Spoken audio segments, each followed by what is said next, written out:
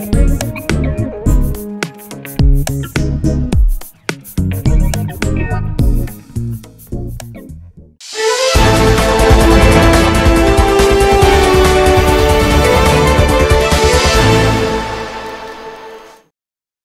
स्वागत आप सभी का बाजारों की चाल के अंदर। मैं हूँ आपके साथ अखिलेश शेट्टी और बाज़ार की चाल में आप सबके लिए एक बार फिर से लेकर आ गया हूँ। यहाँ पे कम्युनिटी बाज़ार का जानेंगे कि शाम के कारोबारी सत्र में कौन सी कृषि फ़सल किस भाव पर वायदा बाज़ार में कारोबार करती नज़र आ रही है? किस कृषि फ़सल के अंदर कितनी मंदी तेज़ी के साथ कारोबार दर्ज किया जा रहा है? और जानकार क्या बता रहे हैं कि आगे जाके किस कृषि फ़सल में क्या प्राइसेस रह सकते हैं? क्या सा रुझान रहेगा? ओवरऑल ट्रेंड कैसा रहेगा? किस कृषि फ़सल में खरीदारी करके चलना सही रहेगा? ये सब जानने की कोशिश करेंगे। तो सबसे पहले यहाँ पे प्राइसेस के बारे में जानेंगे कि कौन सी कम्युनिटी किस मंदी तेज़ी के साथ ट्रेड कर रही है। फिर धीरे धीरे उनका फंडामेंटल्स के बारे में जानेंगे एक्सपर्ट्स के बता रहे हैं और फिर आपके सवाल, एक छोटा सा आंसर क्वेश्चन सेशन होगा। सबसे पहले बात करेंगे यहाँ पे कैसा सीट से। तो देख रहे हैं हम कैसे सीट का दिसंबर वायदा यहाँ पे चौसठ पर ट्रेड करता नज़र आ रहा है, आधे फ़ीसदी की तेज़ी के साथ। हम देख रहे हैं कि कैसे सीट शाम की कारोबारी सत्र में चौसठ के लेवल्स पर एक बार फिर से ट्रेड करता नज़र आ रहा है।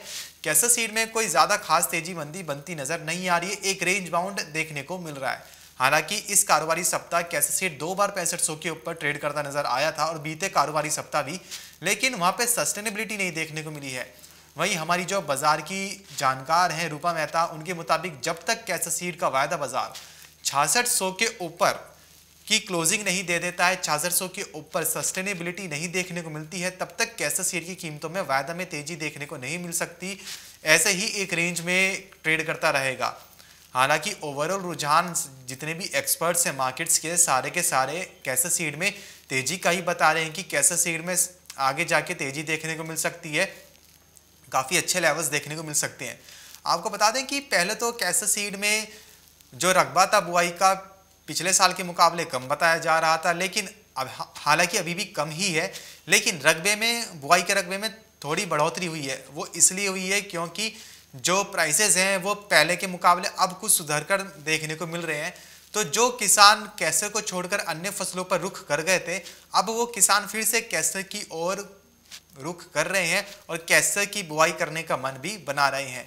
तो हो सकता है कि कैसर की बुआई के रकबे में पहले के मुकाबले पहले जो अनुमान दिया गया था कि पहले इतना परसेंट एरिया, सोइंग एरिया कैसे सीड का कम हो सकता है, उसके अनुमान में कुछ बढ़ोतरी हो जाए और वो सोइंग एरिया का जो परसेंटेज था डिफरेंस था, वो थोड़ा कम हो जाए। तो अभी खबरें यही निकल के सामने आ रही कि कैसे सीड का बुआई रकबा थोड़ा बढ़ता नज़र आ सकता है। दूसरा, कैसर की जो, कैसर सीड का जो ऑयल है और ऑयल मिल है, दोनों में, दोनों की एक्सपोर्ट डिमांड यानी कि जो निर्यात मांग है उनमें तेज़ी देखने को मिल रही है। वो उसकी भी डिमांड एक्सपोर्ट डिमांड यानी निर्यात मांग धीरे धीरे निकल कर सामने आ रही है, जिसकी वजह से कैसर शेयर की कीमतों को बीच बीच में सपोर्ट भी मिलता नज़र आ रहा है। तो ओवरऑल रुझान कैसर का तेज़ी की ओर है। अभी हाल फ़िलहाल में एक रेंज बाउंड रहेगा, लेकिन आगे जाके कैसर में तेज़ी देखने को मिल सकती है, ऐसा भी एक्सपर्ट्स का मानना है। बात करें यहाँ से अगर बिनौला खल की तो बिनौला खल का दिसंबर वायदा देख रहे हैं 2714 पर ट्रेड करता नज़र आ रहा है आधे फ़ीसदी की तेज़ी के साथ। सुबह के कारोबारी सत्र में हमने बिनौला खल को 2600 के लेवल्स पर ट्रेड होते देखा था। आज देख रहे हैं कि शाम के कारोबारी सत्र होते होते, हफ़्ते के आखिरी कारोबारी दिन बिनौला खल ने एक बार फिर से 2700 के ऊपर का लेवल पकड़ लिया है। हालाँकि ज़्यादा तेज़ी देखने को नहीं मिली है, पहला वाला लेवल देखने को नहीं मिला है, लेकिन सत्ताईस पर सस्टेन हो गया है और अब ऐसी भी आशंका है कि आज 2700 के ऊपर की क्लोजिंग भी देखने को मिल जाए। इस कारोबारी सप्ताह ने बिनौला खल को दो बार 2800 पर जाते देखा था। 2800 के लेवल टेस्ट होते हुए देखे थे, लेकिन वहाँ पर सस्टेनेबिलिटी नहीं देखने को मिली। वहाँ पर बिनौला खल की कीमतें टिक नहीं पाई और फिर से 2700 के घरों में कारोबार करती नज़र आ रही है। लेकिन अभी भी बिनौला खल में जो एक्सपर्ट्स हैं, वो तेज़ी का ही रुझान बता रहे हैं कि बिनौला खल में अभी तेज़ी का ही रुझान है। पोल्ट्री की तरफ़ से बिनौला खल की कीमतों को सपोर्ट मिलता नज़र आ सकता है, क्योंकि पोल्ट्री में जो चारा पशु को दिया जाता है, उसकी कीमतों में इजाफा देखने को मिला है, जिसकी वजह से जो डेयरी फ़ार्मिंग में जो मिल्क प्रोडक्शन होता है, जो दूध उत्पादन होता है, उसमें थोड़ी कमी देखने को मिली है।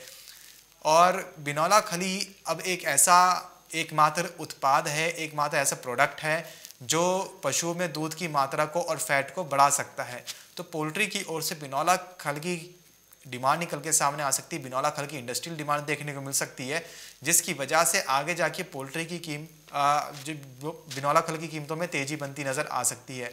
अभी हाल फ़िलहाल में जो एक्सपर्ट्स बता रहे हैं, वो 2800 का टारगेट दे रहे हैं कि 2800 उनतीस तीन हज़ार तक का लेवल ये देखने को मिल सकते हैं। एक बार बिनौला खल अगर 2800 के ऊपर निकल जाता है तो। वहीं साल 2022 तक बिनौला खल में एक्सपर्ट्स 4000 का भी लेवल बता रहे हैं कि साल 2022 तक बिनौला खल 4000 तक के भी लेवल्स दिखलाता नज़र आ सकता है। तो बिनौला खल में ओवरऑल तेज़ी का ही रुझान है। तो लंबी अवधि के लिए बिनौला खल में निवेश करके चला जा सकता है। और जब व्यापारी बिनौला खल में अभी हाल फ़िलहाल में निवेश करना चाहते हैं तो वो इस लेवल पर ना करें। बीच में जैसे अभी कीमतें नीचे में 2600, 2500, 2400 तक गई थी और अगर अभी एक बार फिर से जाती हैं करेक्शन बनती है तो फिर वहाँ पर खरीदारी की रणनीति बनाएँ। अभी इन लेवल्स पर बाई ना करें लेकिन इन लेवल्स के लिए ज़रूर बाई करें। निचले स्तर पर इन लेवल्स के लिए बाय करें, लेकिन जो खरीदारी के मौके ढूँढने हैं, वो निचले स्तर पर ही ढूंढें। बात करें यहाँ से अगर हम मसालों की तो मसालों में देख रहे हैं कि धनिया का दिसंबर वादा सुबह भी तिरासी सौ के घरों में ट्रेड करता नज़र आ रहा था। अभी भी देख रहे हैं कि तिरासी सौ के घरों में ही ट्रेड करता नज़र आ रहा है।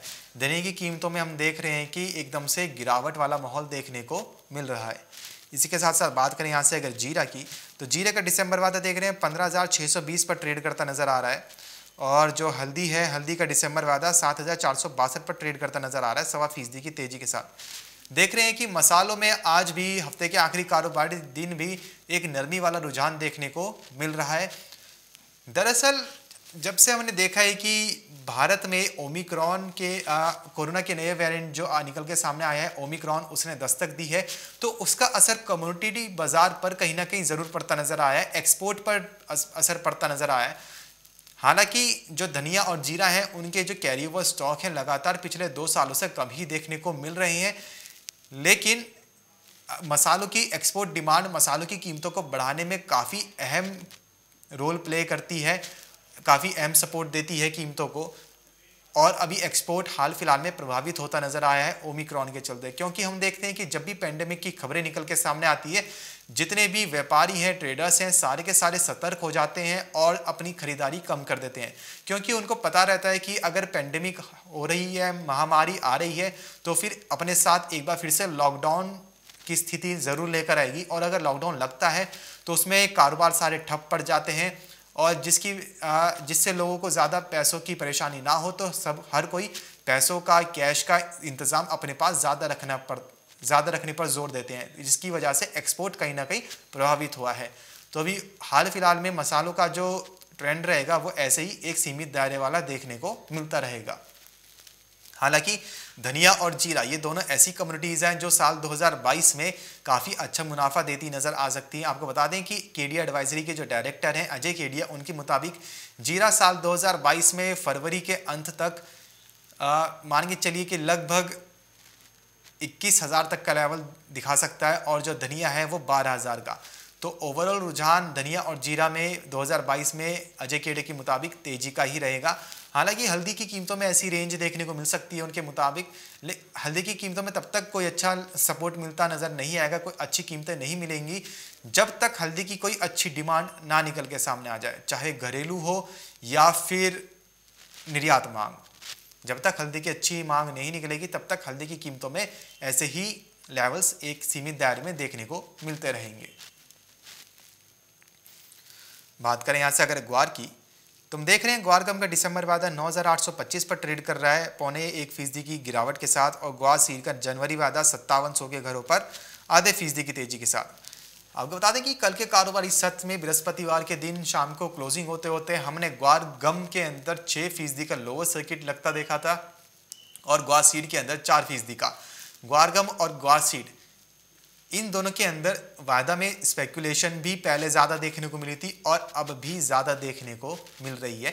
ऊपरी स्तर से बिकवाली यानी कि प्रॉफिट बुकिंग हावी होती नज़र आ रही है। एक के बाद एक ग्वार गम और ग्वार सीरी कीमतों में लगातार गिरावट बनती नज़र आ रही है। वहीं जब बात करें अगर हाजिर की तो हाजिर में देखा हमने कुछ जगहों पर ग्वार में आवक बढ़ती देखी है, जिसका असर वायदा पर भी पड़ता नज़र आया है और ज़्यादा आवक बढ़ने से हाजिर में भी ग्वार की कीमतों में एक सीमित दायरा देखने को मिला है।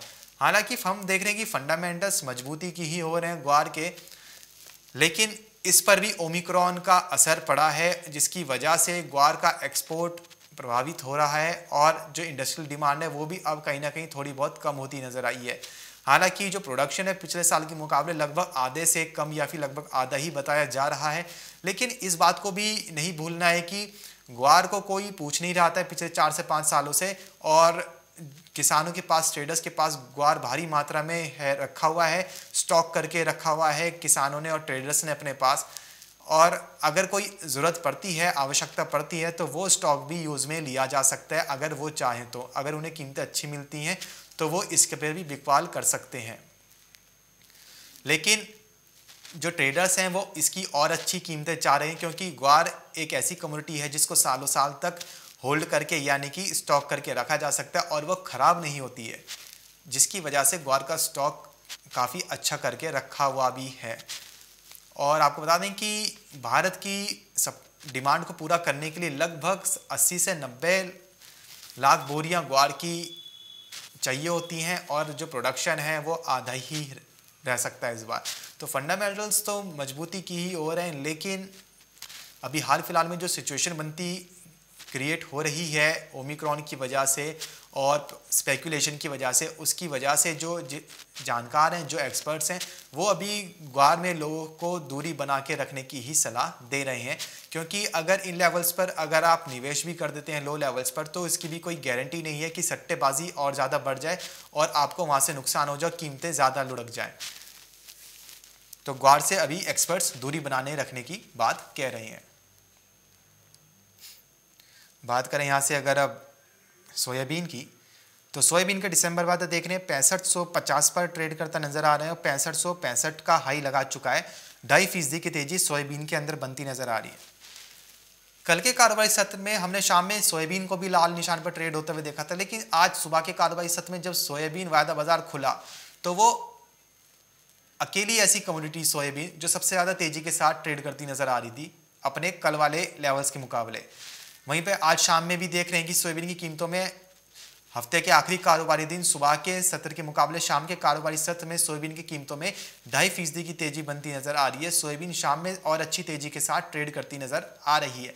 आपको बता दें कि सोयाबीन की कीमतों में ओवरऑल तेज़ी का ही रुझान है।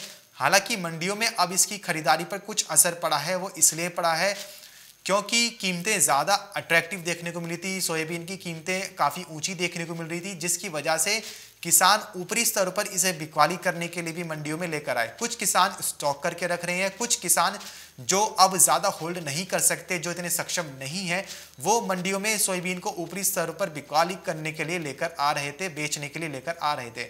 जिसकी वजह से अभी हाल फ़िलहाल में पिछले कुछ दिनों में सोयाबीन की आवकों में इजाफा देखने को मिला और कीमतों में थोड़ी नरमी आई। दूसरा, कीमतों में नरमी का कारण ओमिक्रॉन है, जो कि कोरोना का नया वेरिएंट है। जब भी किसानों के साथ कुछ अच्छा होता हुआ नज़र आता है, स्पेशली सोयाबीन किसानों के साथ, तब कुछ ना कुछ उनके साथ ऐसा होता है कि उनकी, उनको जो कीमतें कुछ सुधर कर मिलनी शुरू होती हैं, वो कहीं ना कहीं कम होती नज़र आती हैं। और ओमिक्रॉन अब इसी का काम कर रहा है सोयाबीन किसानों के लिए।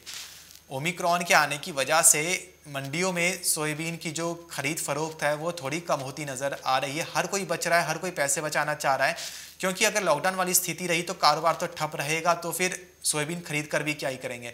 लेकिन कुछ प्लांटों ने ऊपरी स्तरों पर भी सोयाबीन की खरीद फरोख्त की है, क्योंकि उन्हें अपने प्लांट चालू रखने हैं। उनके प्लांटों में सोयाबीन का स्टॉक बिल्कुल भी नहीं था, इसलिए ऊपरी स्तरों पर कुछ प्लांटों ने खरीद भी की है। और जो एक्सपर्ट्स हैं मार्केट के, वो अभी भी सोयाबीन की कीमतों में तेज़ी ही बता रहे हैं कि कोरोना का चाहे नया वेरिएंट आ जाए, तब भी सोयाबीन की कीमतों में तेज़ी का ही रुझान बना रहेगा, ऐसा एक्सपर्ट्स का मानना है। और लेकिन सोयाबीन में खरीदारी करनी है और ये बिकवाली करनी है, ये पूरा या फिर होल्ड करके चलना है, ये फैसला सिर्फ़ और सिर्फ़ किसानों का रहेगा।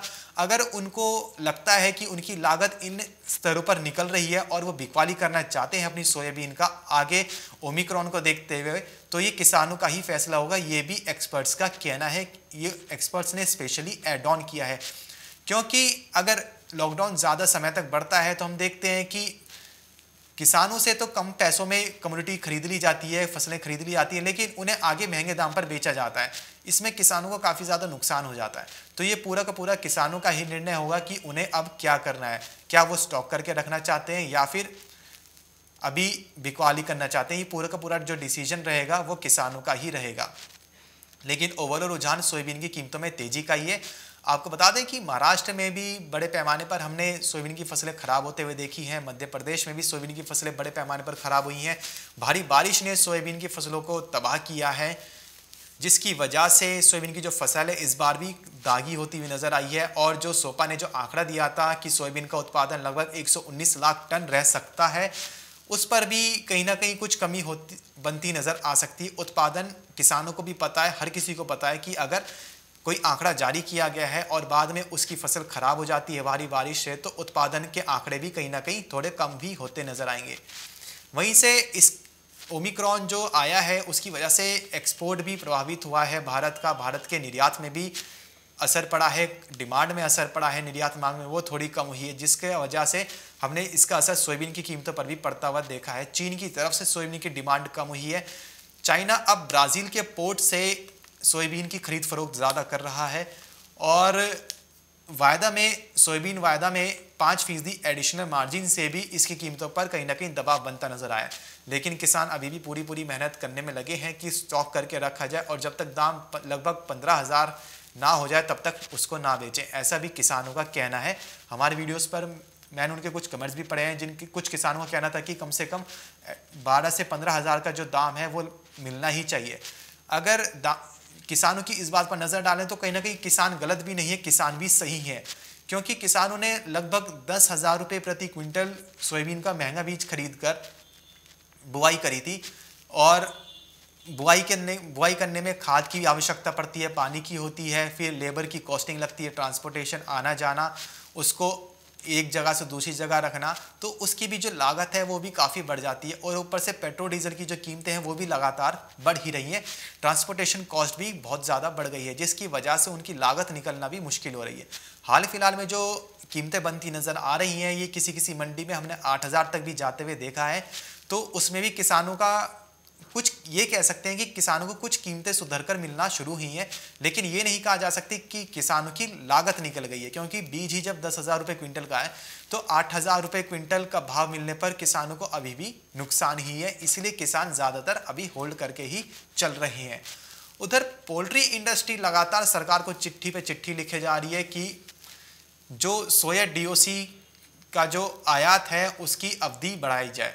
आयात सोया डीओसी की आयात अवधि बढ़ाने की मांग कर रही है।